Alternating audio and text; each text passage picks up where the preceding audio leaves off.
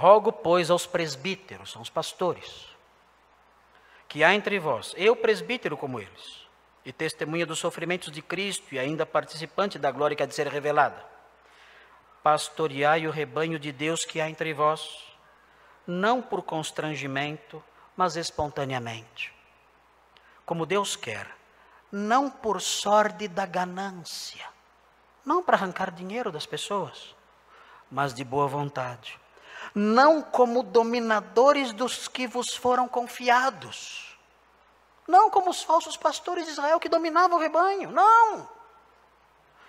Antes, tornando-vos modelo do rebanho, é assim que se pastoreia, de boa vontade, sem cobiça, sem explorações, sem dominação. Versículo 4, ora. Logo que o Supremo Pastor se manifestar, recebereis a imarcessível coroa de glória. É assim que vocês devem pastorear, com alegria, com disposição sincera, sem cobiça, sem querer arrancar da igreja o que puderem, sem dominar sobre o rebanho, mas sendo modelo para o rebanho.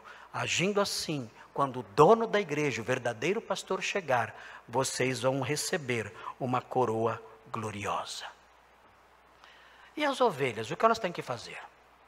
Bem, em 2 Coríntios tem um alerta. Em 2 Coríntios 11, 20, existe aqui um alerta para todos os evangélicos do Brasil. Todos. Todos os evangélicos do Brasil deveriam ler esse versículo, decorar esse versículo. Vejam 2 Coríntios 11, 20. Vejam o que diz. O apóstolo Paulo está muito bravo aqui. Está muito irritado aqui, irritado com os evangélicos de Corinto, porque eles faziam algo que não deveriam fazer. Havia mestres mentirosos, pastores mentirosos entre eles.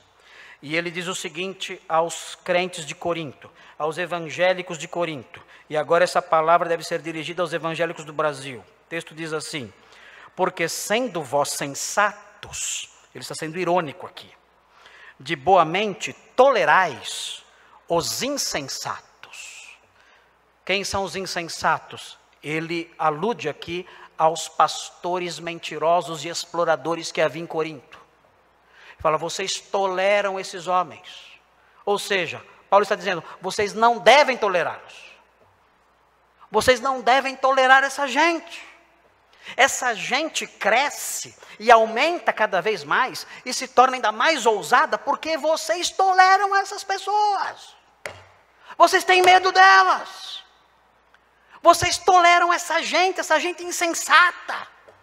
E vejam o que essa gente faz. Vejam o versículo 20: Tolerais quem vos escravize,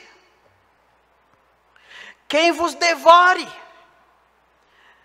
quem vos detenha quem se exalte, quem vos esbofeteie no rosto. Vocês, evangélicos de Corinto, vocês toleram essa raça perversa que explora vocês e bate na cara de vocês. Vocês toleram essa gente.